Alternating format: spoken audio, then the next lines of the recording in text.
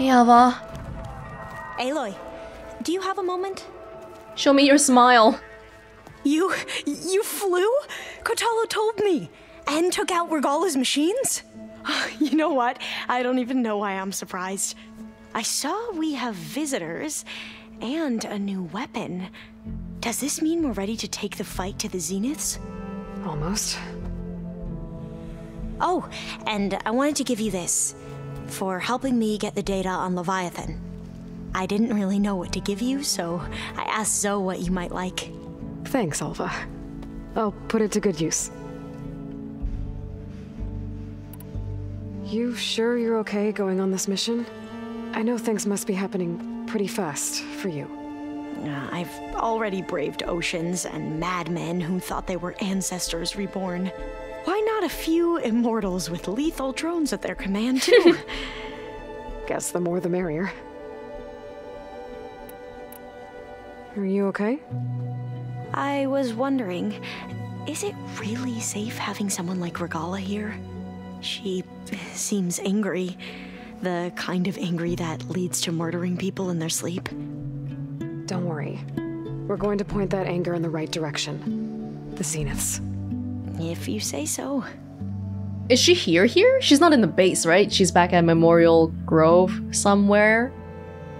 Yeah. I trust Regalla more than I trust Sylens and Tilda. Just like how Sylens says she's easy to manipulate. She's a lot simpler. I hope our new guests have been behaving. This Sylens, he's the one who built the weapon that can take down Zenith shields? He is. Though I wouldn't expect him to answer any questions about it. He refuses to dole out his secrets to us lesser mortals. Oh. You know that special part of us that makes us warm, kind, welcoming? Our spirit? Yeah, he was born without that. What a shame. I suppose you saw that Tilda is here. Our very own Zenith. I almost went up to her to ask her, well, every question I've ever had about the legacy. Every diviner I know would kill to get five minutes with one of the old ones. But now that she's here, all I feel is a vague unease. I right? don't know if I'm scared of finding out more uncomfortable truths or just scared of her. Probably both. She doesn't give off that aura of wanting to save people. Have you looked through the data we recovered on Leviathan? There is much to sort through still, but I believe we'll be able to get it operational and turn back the floods. And I've given more thought to everything we've uncovered about the ancestors. The overseers would have us believe they were infallible paragons. But Faro wasn't, not even close. His greed led to machines that devoured the world. The archive of the Old One's knowledge destroyed, just to erase his mistakes. So, when we learned that Eileen had a hand in covering up hundreds of deaths, I started to think they were all the same selfish, egotistical, cruel. But in the end, it's not that simple. The truth isn't a straight line of ink on a crisp scroll. It's a splatter, smudged and faded on stained parchment. I wish more Quen could see that, instead of looking the other way or twisting the truth to serve their own schemes. I doubt Bohai would agree with you. No, nor the rest of the Board of Overseers. As Eileen said, it's easier to believe the lie is truth, but it's worth fighting for. And this diviner, at least, won't settle for anything less. For that, I thank you, Aloy. If we can come back from this journey with everybody unscathed, I get the impression that most people will just go back to their own tribe. But Alva, what about you? I really do feel like you don't fit in with a Quen. But you have family back on the mainland. So I guess you can't just stop being a Quen and all that. Just living in that system, knowing that people aren't willing to change, I don't think she'd be happy. But again, her family is on the mainland. I need to wrap up a few things, but stay sharp. I'll be ready when you call. Thank you. You're the only one healing my soul in this base now. Everybody else is too sad or just not nice to talk to. There's Quen stuff in here now. Must be all of us. Quen stuff. Which one is the Quen stuff? I have no clue.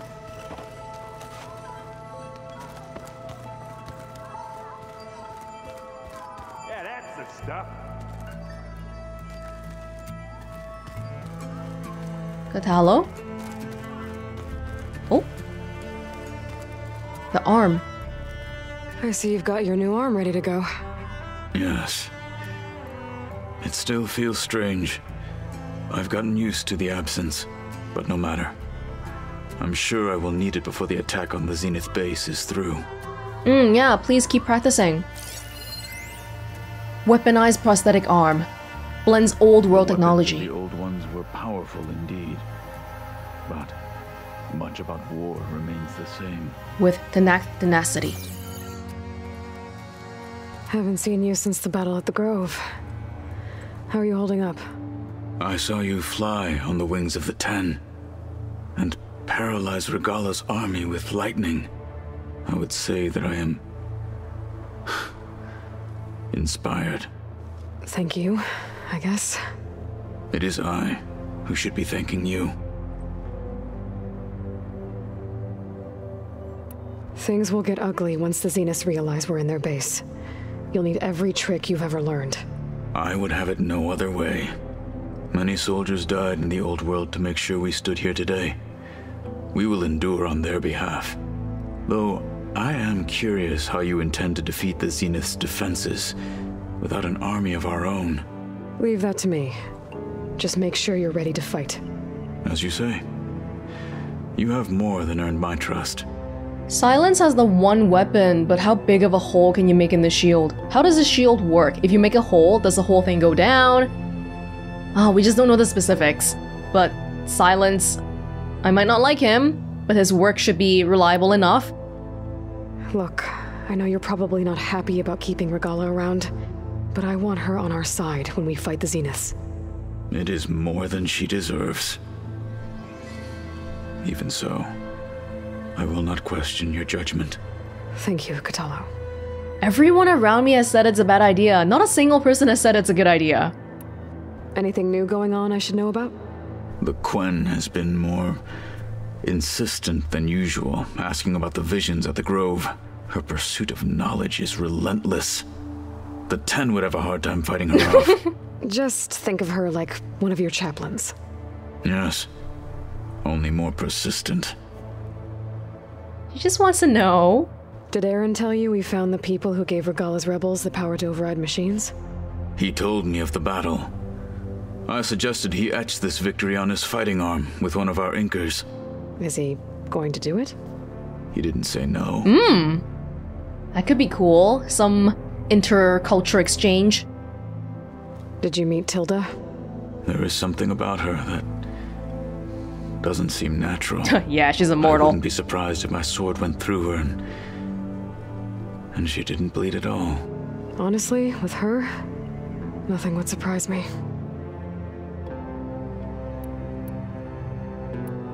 Your people keep mentioning the wings of the Ten. What exactly does it mean? The visions tell us that the Ten flew on great metal machines with wings Planes? and leapt into battle from the sky. For us, to imitate this feat is the ultimate expression of martial prowess. It is why the challengers leap into the arena during the Kulrut. And now, you have done it. like the deeds of the Ten themselves, it will never be forgotten. So, tell me, how did it feel? I won't lie. Pretty good. I can only imagine. One of these days, I'll take you with me. I have to go. But I'll be briefing everyone on the plan soon. Understood. Where is Tilda?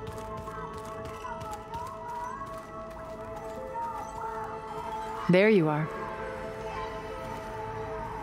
If Elizabeth Sobeck were still alive today. Oh. And she was the one trying to save the world. Like, I just don't get the impression that Alva. Oh, because earlier Alva was saying, oh, I'm kind of scared of Tilda. I don't think she would give off scary vibes.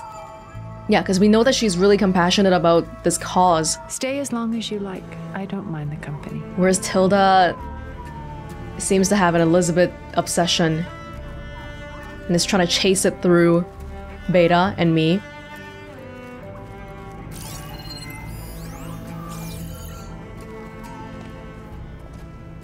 Well done, Aloy. Despite my reservations, you managed to secure Sylens and his weapon. You're truly a shining example of Liz's fortitude. I've been thinking about what you said at your house. How you were friends with Elizabeth. It was more than that, wasn't it? Uh-huh. Perceptive as ever. You're right, we were together for a time. Okay, so. What happened? I was an orphan. I had always been alone. By my 30s, I was starting to wonder if that was simply my fate in life. And then I met Liz. We kept running into each other at conferences. We'd have coffee. At some point, it became drinks. I thought it was just shop talk, an exchange of ideas, but then I was surprised at how much I looked forward to seeing her. Soon we were flying halfway across the world every other week just to meet up. For the first time, I didn't feel lonely. I could imagine a future where I wasn't. I think Liz felt the same way at first. She had lost her mother a few years back. I filled a void for her. I know I did. But as time passed, it seemed as though she wanted less when I wanted more. And so we ended things. So helping me. Restoring Elizabeth's dream. It's what? A A second chance, yes. At what? I made a mistake leaving Earth while Liz stayed behind. I should have done more. So when I saw you, a woman who has carved her own remarkable path, beyond even what made Liz a phenomenon, I knew I had to help you. To do right by her. If you think about how it's been like a thousand years and she's still thinking about Elizabeth, it's actually pretty obsessive. Yeah, back when we were having quote unquote breakfast, when she was talking about how she calculated how to get close to her, I was like, whoa, this kind of sounds like some pickup artist's plan. oh, okay, well, sure. Why did you make the data channel look like your house? I built that house as a shelter to weather any storm. A safe place, not just for me, but for the art stored in its depths, cultural artifacts of incalculable value. Truly, some of the greatest achievements of human civilization. And you wanted Beta to see them? Yes. Her upbringing was so cold and technical. I thought if she could experience Vermeer and Rembrandt, it would bring something else into her life. A heritage every bit as valuable as the scientific and technical data being drummed into her. I'm sorry I had to cut off contact, but We've I'll heard this before. Sharing this house with her. She needed its shelter even more than I did. Yeah, we heard this exact conversation before at the breakfast. It's uh, I feel like it's a bit of an interesting background. Someone who is very good technically, being a super hacker and all that, so science minded, but she's also very passionate about stuff like the arts, balancing the technical with um the artsy stuff. But yet she seems so cold. Why do you think Elizabeth pulled away? I've wondered that for a thousand years. She was brilliant, visionary. She cared so deeply for the world, for the betterment of humanity. But it also felt like she kept everyone at arm's length, including me. She never wanted to share her burdens. I think, in the end, she had a core that she never let anyone be part of. Sometimes I wonder if anyone really knew her. That's lonely. I found a recording of you and Elizabeth back in the proving lab after Far Zenith's attempt to steal Gaia. Yes. A most unpleasant conversation. She said something after the call. I think she regretted how things ended between you. Did What did she say? All this time, thank you for telling me. I've always hated that those were the last words we ever said to each other. And that her last impression of me was as a functionary of Far Zenith, not who I truly am. You don't have to keep telling me again and again, hey, I'm not like that, okay? I'm actually a good person. Good people don't have to keep telling people, hey, I'm good, hey, I'm good. You said before that you're not like the other Zeniths. That you never were. But you went along with all of their plans. Out of necessity. I'm not proud of it. But complicity became a means of survival, both when Earth was consumed and when the colony on Sirius was destroyed. I did what I had to. But I resolved to remain one step ahead of the others to try to undo what damage I could. Hence the data channel with Beta. The secret passage into their base and the little trick I pulled to save you. Oh, thank you, Lord Zenith. Thank you for saving my life. When it's time to break into the Zenith base, what can we expect? I'll go over the full layout once you've assembled your friends. Suffice it to say, we will need to push as fast as possible to Beta and Gaia's location, dealing with heavy resistance along the way. There are also printing facilities where the others have been amassing the natural resources they've stripped from the region. What for? First for use in the base's infrastructure, and then to fabricate more Spectre drones, a small army of them. When I was out in the wilds, I saw a shuttle take off from the island, heading for space. It I was did. likely ferrying materials to and from our ship in orbit. After hundreds of years luxuriating in our digital comforts, the ship was barely space worthy when we made our escape. Disaster can strike at any moment. We've learned our lesson. Have you figured out how Sylens's weapon works? No, and he's been very careful not to allow me near it. I'll admit it bothers me, but regardless of how it functions, I am confident it will deactivate the other shields en masse. How many of them are in base? Ten, including Erik and Gerard. Only a handful of us made it to our ship when our colony collapsed. Oh. So even in the ship in orbit, there was only a few people?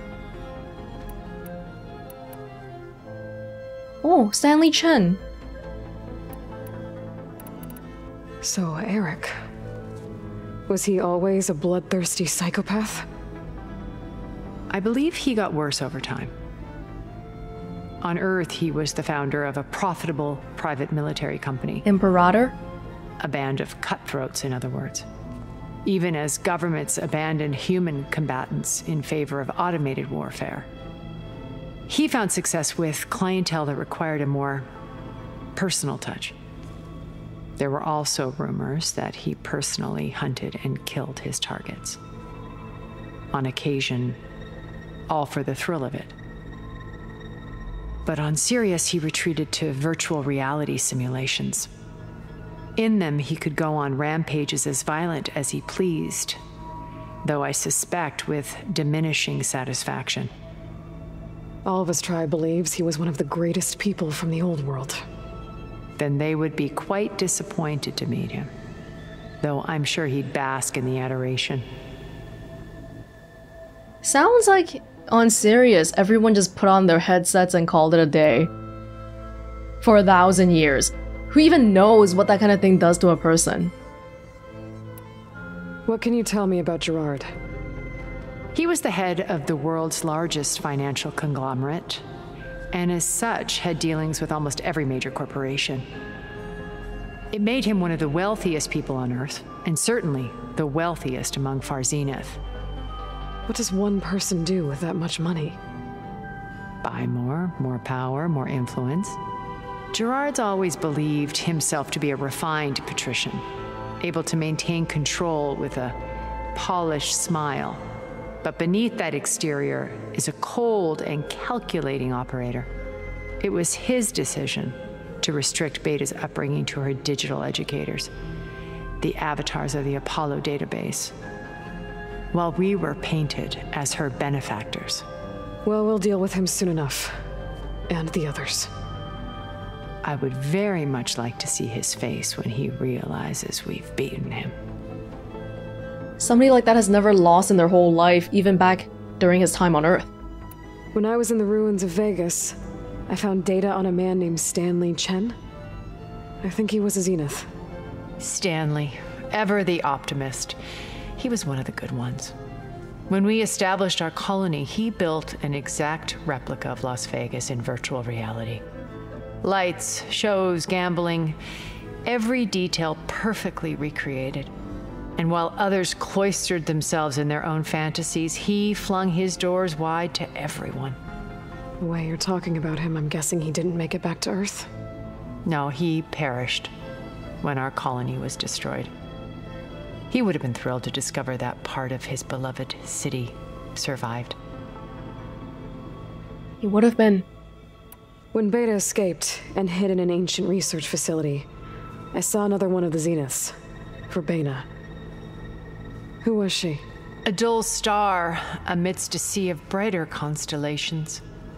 Unlike most of Far Zenith's members who amassed their wealth through shrewd business deals and technological achievements, Verbena inherited her billions.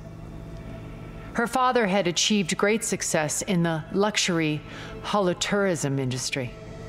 At age 24, she became the world's most eligible bachelorette, branding herself a life designer. Someone who leverages their fame to influence the choice of others. What? Like a cult? In a way, yes. Well, she must have done something right to have survived this long. She was her own brand of ruthless. That much is true. But even rats can cling to a vessel for escape. Hmm. Doesn't sound like she had any real skills then. Okay, so I've had run ins with a handful of Zeniths. What about the rest? An array of the wealthiest people on Earth, titans of their industries. And let me guess all selfish and ruthless to the core? Most, but not all. There were a few with whom I got along. Annika Murjani, for instance, was always delightful. She founded the Holonet's most successful dance channel and was herself mesmerizing to watch. and I had fascinating discussions with Song Jiao about her work in cellular biology. Our immortality treatments are due in part to her achievements. But then there were others like Devin Miller, the CEO of a fast food printing corporation. His only real preoccupations were perfecting his golf swing and taking self hollows. When I think about all of us, we really should have accomplished more. We had eternity. That's exactly why you didn't do anything. There's no concept of time. Okay. I'll let you know when it's time. I'll be here until then. And thank you, Aloy, for giving me this chance. My past has always been a struggle. More than once, I've lost everything. But when I look to the future, I see Liz's dream fulfilled. A universe of new possibilities. Maybe we can make it happen. We will. I won't let anything get in the way. I promise you that. Tilda cares about the Liz's dream part. She doesn't care about the new universe part. She brought Wait, is that was that the fake one? The forgery? No, she's standing up. Woman reading a letter. Oh, this is the real one then, right? Not the fake one? I trust everything is all right. Yes, it is. Just be quiet. Oh, I want to see what did Liz say at the end of that the audio point. I gotta find the right one. I remember hearing it back when we were there. I just don't know. For being at the base. I just don't know what she said at the end. Here we go. The deal's off, Tilda. Zero Dawn got its ectogenic chambers. Far Zenith needs the Apollo database. There's no reason this incident. You tried to steal Gaia. I had nothing to do with it. And you punished those responsible. Your logic bomb has them scrambling to restore vital systems. I'm really supposed to believe that you knew nothing about this? Please, Liz. Humanity's chances are slim as is. You may not approve of our plan. But what if we're the only ones to survive? Don't you want us to have Apollo to remember our common past, our mistakes? I'm begging you. Fine. You'll get your copy of Apollo. Thank you. Let's speak again before. Goodbye, Tilda. Enough. Time to let go. Did she say the enough now while in the conversation with Tilda or just to herself? Time to let go. Hmm, sounds like she still potentially could have had feelings for Tilda. Elizabeth, quite a withdrawn person, so it's really hard for us to see how she really felt about things.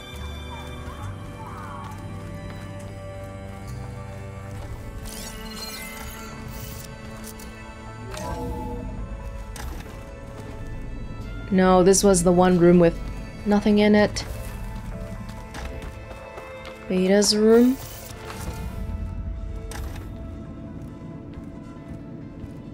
Another chat? I'm thrilled. This Oh. place smells wrong. No sand or wind, only cold steel.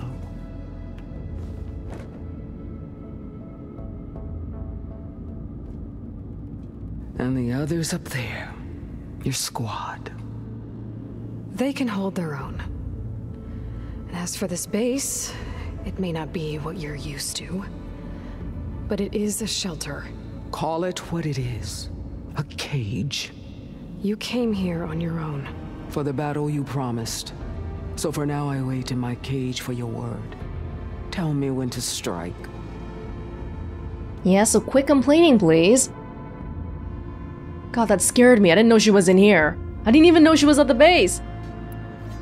The whole time I've been in the West, I've been fighting you and your rebels. I'd at least like to know why. You were among the enemy. What more is there to know? Why did you do it? Dorak, Jiroka, Makalo, and the Carja pushed into the desert to raid our people. My brother's squad was among the first to intercept them. But the Carja captured them, strung them up, and burned them alive as an example. It was too late. I found them by the sound of their screams. So you wanted vengeance. Vengeance. No. I wanted devastation. To tear down the Carja's cities and drown the land in blood. Hunt down every last survivor and grind their bones until the sky chokes on the dust. But my chief betrayed me. Betrayed the Tenakth.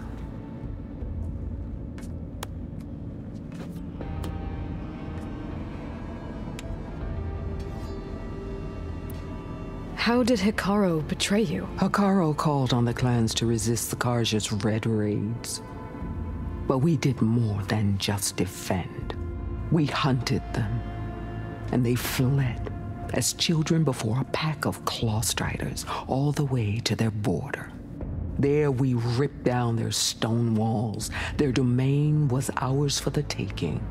But when it came time to push on, Hekarro ordered us to fall back. What soldier retreats when slaughter is at hand? The kind who wants peace for their people. Peace is just a lull between vendettas. But I thought my chief had greater tactics than mine, so I stood by him, even when he allowed that filthy Carja to join our ranks. Fashav. I enjoyed watching him die at the embassy. He should have been put down when we first captured him on the field. Instead, Hekarro made him a marshal.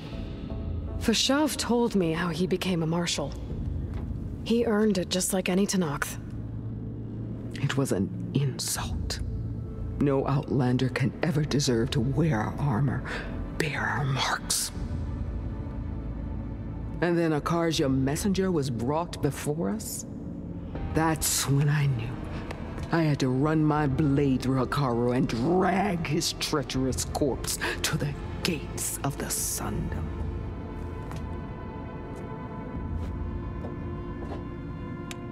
She has a very rigid idea of what Tenakth traditions are like.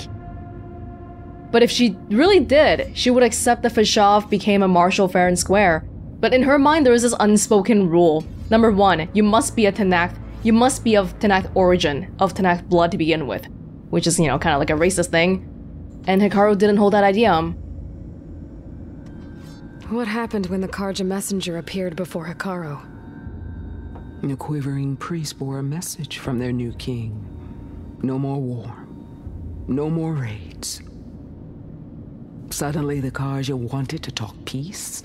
An embassy at the very fortress we tore down. A true Tenakth would never take a Carja truce. Their blood exists to be spilled.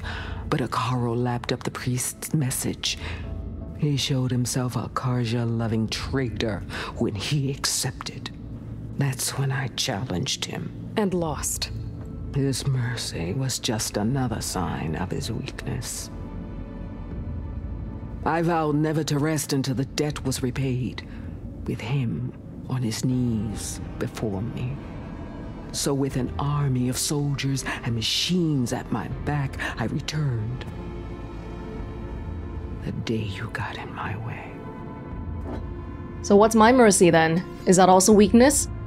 We're both physically stronger than you. The deal you made. Override tech in exchange for an assault on the Zenith base. How did Sylens approach you? That name means nothing to me. My agreement was with the Oseram Sera and her sons of Prometheus. So all this time, you didn't even know who you were really dealing with? And you trusted an Outlander? If it was a trick, I would have crushed her. But she spoke with the same burning hatred for the Carja. And she offered me the chance to run them down with machines. The terror in your enemy's eyes when they see you charge. You know what I'm talking about. I bet you felt it. I don't think so. What about your end of the deal? Would you have honored it? Had I killed Hekarro and become chief, these Zeniths would have been the first of the tribe's victories, but because of you, my people will continue to consort with the enemy. A tribe of weaklings.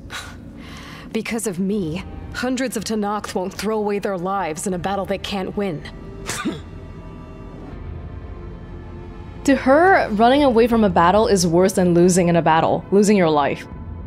I don't know why. Why is she like this?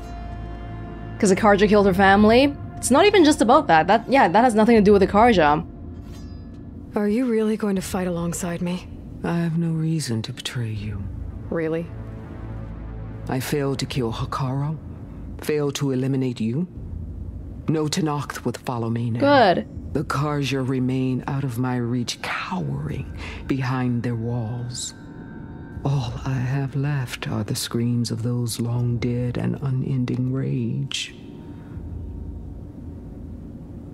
So show me where to bury it. Pitiful. All right. I guess we'll both face the end soon enough. Ever since you got in my way, I've wanted to see your bones burned white beneath the sun.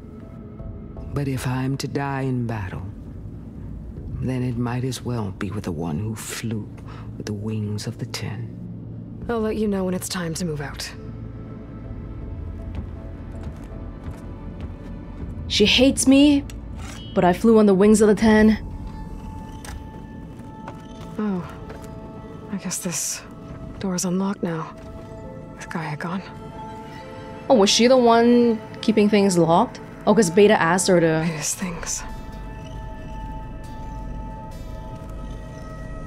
We've been here before, haven't we? This is opened. Oh! To Aloy. Aloy. If you were listening to this, then, um, things didn't go as planned at Gemini. I know you'll keep your promise. Which means I must be dead. Oh. Well, that sounds familiar, doesn't it? But uh, a lot's happened since you found me in that ectogenic chamber. Thank you, Aloy. You've been my shelter. And I would risk it all again be by your side. I know you'll find a way forward. That's what you do. I'm sorry, Beta. But I'm getting you back, no matter what it takes. From a narrative perspective, I'm really scared they'll do something to Beta. Because having Aloy and Beta around is tough to juggle, but uh, I really don't want her to leave. On the Regional Control Center. The more I read up on the Regional Control Center, the more I appreciate the immense amount of planning that went into Project Zero Dawn. But one aspect of this facility has me puzzled. Why pre-design it? Gaia was more than equipped to imagine the needs of future humans. While I have four working hypotheses, the answer may be the simplest sentimentality. Combing through the facility's files led to the discovery of an audio log, severely corrupted, likely a consequence of Minerva's occupation. I only managed to extract a fragment. August was only eight when the swarm broke out. He was in Singapore, staying with his mom. I should have gone. I should have done a lot of things differently. A law from the facility's designer, perhaps. I suspect it may have something to do with the locked door tucked away behind the maintenance shaft, but I am disinclined to pursue the matter further at this time. Aloy and Gaia want me to help build the transport rig and pulse generators for their trip to Gemini, so I must direct all of my attention to that. I hope it's not a pointless endeavor. It all depends on whether Aloy can procure Ted Faro's Omega clearance, which frankly feels like a long shot. Beta. The locked door. We need a six digit code. August was only 8 when the swarm broke out. I wonder if that's like a like a um, hint towards the code. We Needed six digits. Hmm. Man, there wasn't even a bed in here. Guys, she was living in a freaking server room.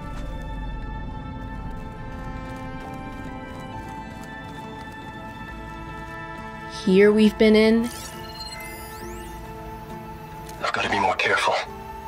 Jensen almost caught onto my plan while we were going over the right, diagnostic right, right. center this already. specs. I've got nothing against the rest of the team. It, it's just... I'm sure they've all got family they're gonna meet up with in Elysium. But me? I couldn't even bury August. There is nothing of him left besides my memories. I won't let those blink out of existence too. The vault's for us, no one else. Eleven more weeks before we lock the blueprints. Then the rest will be up to Gaia. I remember it's here.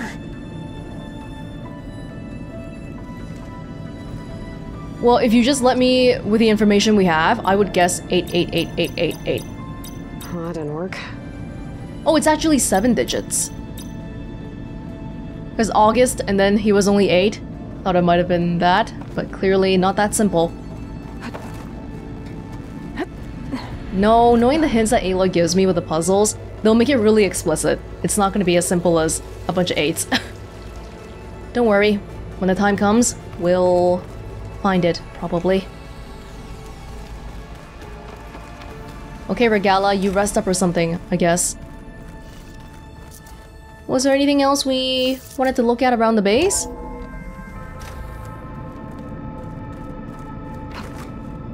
We took both the energy cells. Yeah. Both of them have been fixed. Did we not pull this off already? It came back, somebody put it back on. And I just tore it apart again. Yeah. Okay. Well.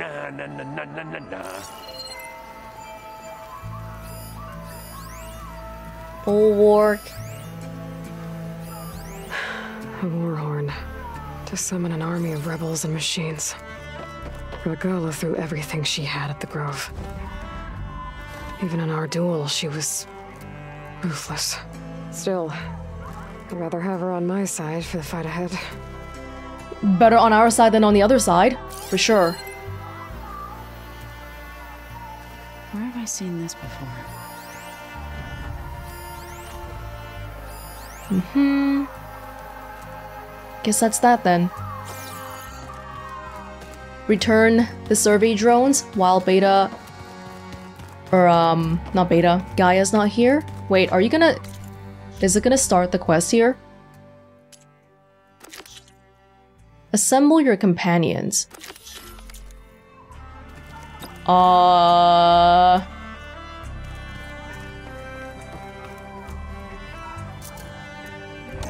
It'll give me a warning, right? I just want to hand in the survey drone. That's all. Okay. Maybe it's time to get everyone together so Tilda can brief us. But is there anything I should handle before that? Okay, that's my point of no return. There we go. All drones are reconnected to the dome now. What do we get to show for it? Nothing. A wallpaper. That takes 20 seconds to load in.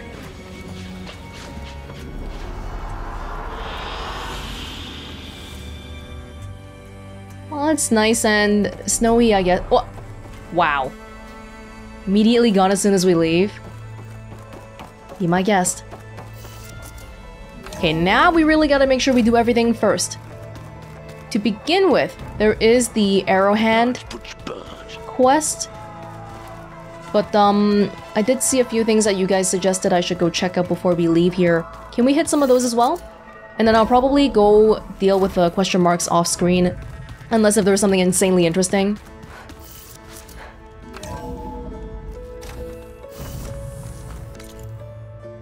Is there something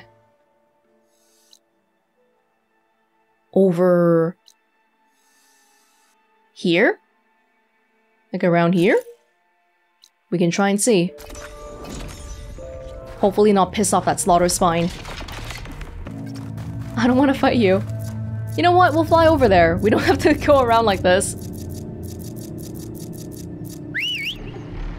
Overriding sunwings.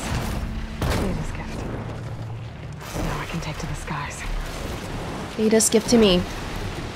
This little island here? Oh, on the map it seems more connected. Oh, because because of these white islands. But actually it's a little bit further away.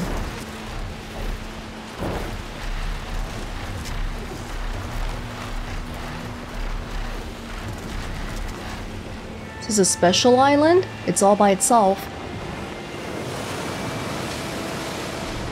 What is this place? Looks like a path. Wait, there were some markings on the...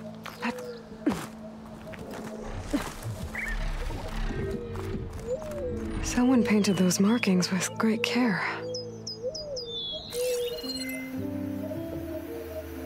Well, somebody was here before. Candles. Wait, what did the markings say? I don't understand any of it. But the hexagonal... Yeah, the hexagonal shape immediately made me think of the subsystems. I think this is a memorial. Must be for a beloved friend.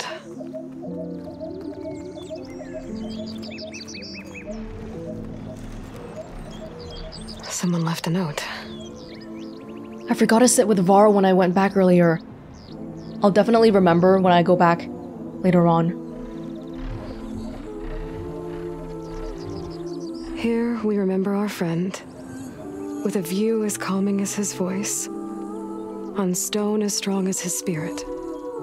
He was not just our rock, he was our oak, sturdy and stoic, whose presence brought us comfort, and whose branches touched us all. Rest in peace. It sounds like he's truly missed. Who is this a memorial for?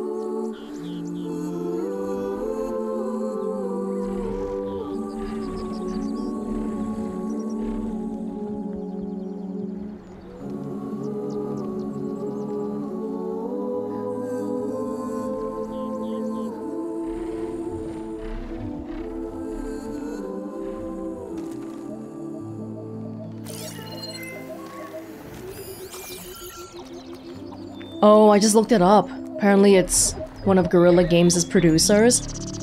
That's a nice little tribute here.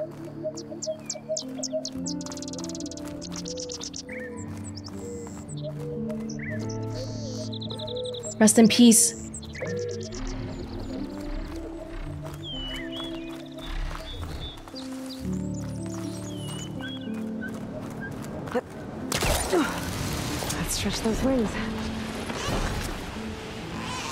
Got a great spot here as well. Look at that view.